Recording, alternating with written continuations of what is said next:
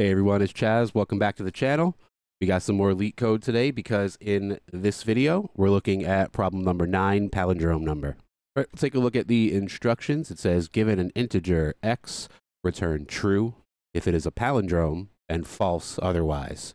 And if you're not sure what a palindrome is, it's just a number that reads the same whether you read it forwards or backwards. So in the first example, it says for 121, that's going to be true because if you read it from right to left or from left to right, you still read it as 121. Now, example two is pretty important because it says when I take that same palindrome number and just put a negative in front of it, it automatically makes it false because when you try to read it from right to left, the negative sign goes to the end of the number. So that's going to be useful to know when we try to code this. In example three, I have the number 10. If you try to read it backwards, it reads 0, 1. So that's not going to work for us. We're going to return false. And then they give us one last part here. It asks, could you solve it without converting the integer to a string? Now, that's what's going to make this problem a little more difficult. Because if you could just convert it to a string, this problem is very easy. I mean, I could, I could just show you right now. That's the solution. You can ignore the line numbers. I literally just typed this underneath my actual solution just so I could take a screenshot. If you want me to walk through it real quick, I just made a string, named it x string because it's the string version of the value x. And then I just used the function toString to change that integer x into a string. Then I created a string builder, named it SB, and I initialized that string builder to start with the string that I just created, x string. And then I just reversed it, sb.reverse. And then all I have to do is return whether that reversal is equal to x string. So that's what the final line is. It says x string dot equals, and what does x string equal to? The string builder when converted to a string, sb dot to string. And of course, with strings, you have to use the dot equals function. You can't just use the double equal signs because with strings, if you use the double equal signs, it will evaluate whether those two strings are pointing to the same memory address. So you can have two strings that contain the exact same letters, but since they're at different memory addresses, it'll consider them to not be equal to each other. So that's why I use dot equals and not the double equal signs. All right, well, anytime they put a challenge on the screen in LeetCode, you know I'm going to try to do it. So we're not going to use this string solution. We're going to keep x as an integer, and we're going to compare x and the reversal as integers. So for that to work, we're going to need some kind of algorithm that will reverse the digits of a number. In order to do that, I'm going to present to you a few facts brought to you by Mr. Double D here. So the first fact that I'm going to present is that any number mod 10 is just the last digit of that number. And when I say mod 10, I'm referring to the modulo operator. Modulo operator is division, except that instead of giving you the quotient, it gives you the remainder.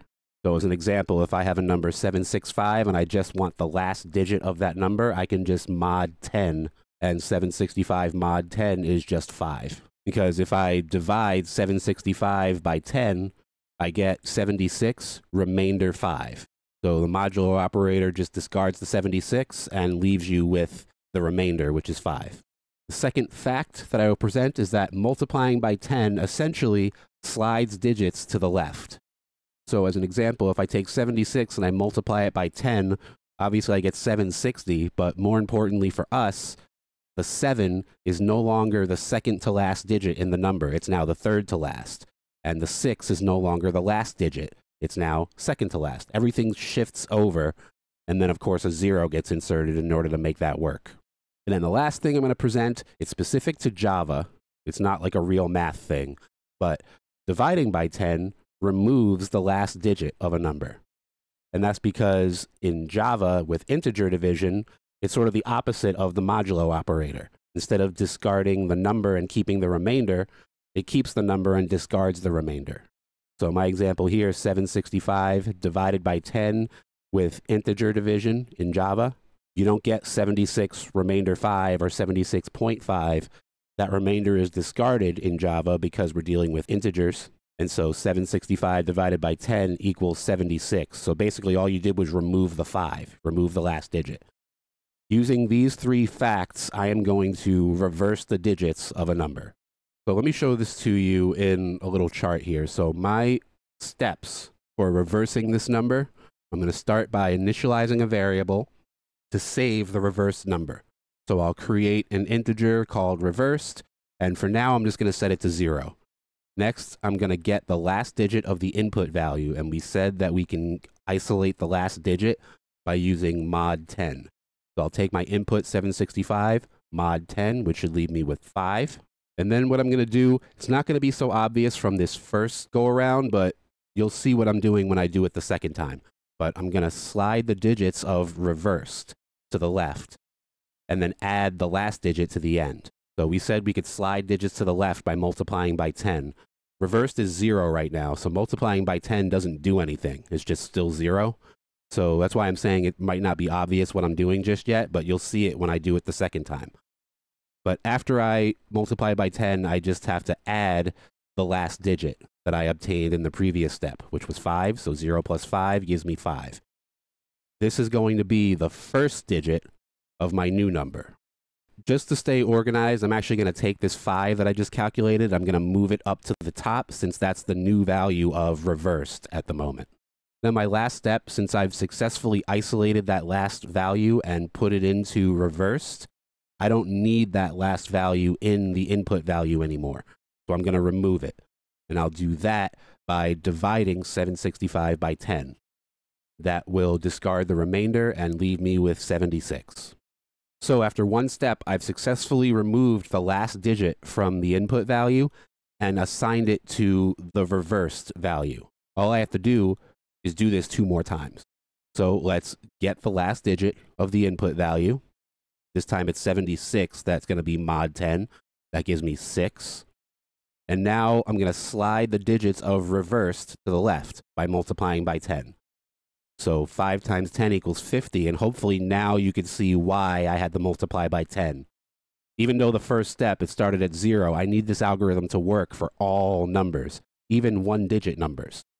So now I've successfully moved the 5 so it's not the last digit anymore. Now it's the second to last digit, and I can add that 6 from the previous step, leaving me with 5, 6. Notice that the original number was 6, 5, and now I'm 5, 6. In order to stay organized, I'm just going to take that 5, 6 and move it up to the top since that's my new value for reversed. And then the last thing I'm going to do is remove the last digit of my input value.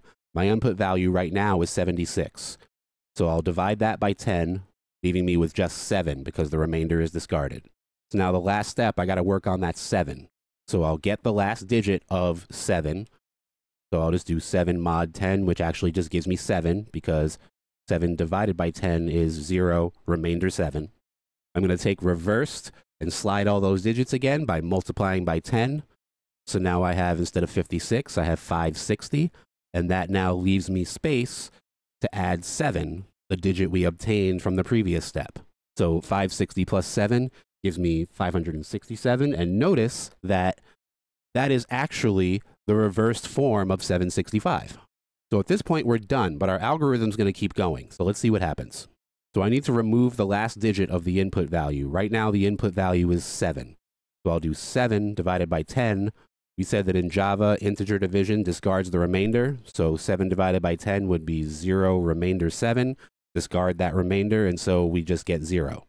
We're going to set this up when we code it so that our algorithm stops when the input value becomes 0. So right now the input value is 0. So our algorithm should stop, and then all we have to do at this point is ask, is 765 equal to 567? The answer to that is no, and so we would return false. So hopefully this algorithm makes sense. I'm just going to do it one more time with a number that actually is a palindrome. And I'm going to go a little faster just so we could see how this algorithm works with a number that really is a palindrome. So initialize the value reversed, set it to zero. We're going to get the last digit of the input value by using mod 10. That'll get me just the 4 at the end of this number take reversed, multiply by 10. 0 times 10 is just 0. And then add the 4 from the previous step. I'll put that 4 on top to stay organized. And then we'll just take 454 and divide it by 10, which removes that final 4 from the number. So that leaves 45 for our input value. So I'll do mod 10 of that number. That gives me just the 5. I can take reversed, multiply it by 10. That slides the 4 over and leaves room for me to add the 5 that we got from the previous step. So 40 plus 5 is 45. I'll move that green 45 up to the top to stay organized, and then I will divide the input value, which is also 45 right now, the one in blue, divide that by 10, leaving me with just 4. Take that 4, move it up. We're going to get its last digit. 4 mod 10 is just 4. Take our reversed value in green, the 45, multiply it by 10. That shifts the digits to make it 450. And now we can add the last digit that we got from the previous step. So 450 plus 4 is 454. And that's going to be the final value for reversed. But of course, our algorithm keeps going. So we take our input value, which is now 4, divide it by 10. We get 0 with integer division and our algorithm should stop when the input value becomes zero. And then we ask, is 454 equal to 454? Well, yes, it is. So we return true. And now let's look at the time and space complexity of this problem. The time complexity is going to be big O of n, where n is the number of digits in the input value. And that's because our algorithm works on each individual digit once. If we had used our string solution that I showed you at the beginning, the time complexity would also be big O of n because the string builder reverse method needs to traverse the entire string. So, so it will be the same time complexity, but actually the string builder would be slower than our algorithm. Since we're just performing operations on digits, performing those operations on the digits will be actually faster than string builder's reverse method, even though they're both big O of n.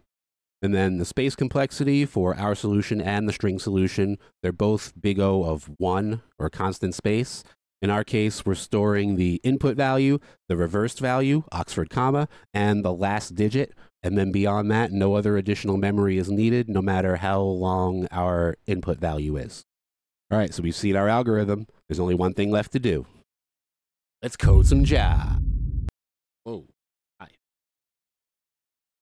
All right, so I've got the Java solution here. Remember when we looked at that example with the negative value and the negative sign went to the end of the number? So basically, there's just no way for a negative number to be a palindrome. So that's what my first line of code is. If there's a negative number, if x is less than zero, just return false.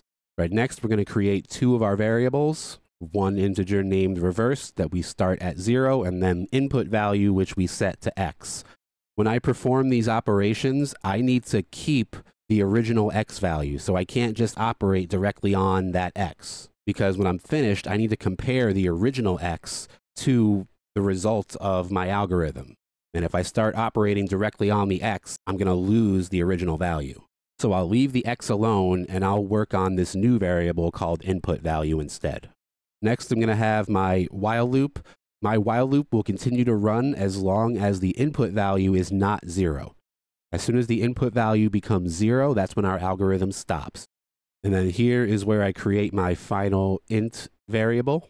We call it last digit, and this is where we perform all those steps that I showed you earlier. So take the input value mod 10 to get just the last digit.